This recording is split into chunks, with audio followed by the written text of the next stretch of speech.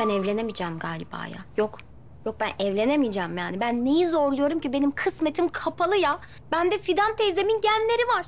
Allah bence bende de var.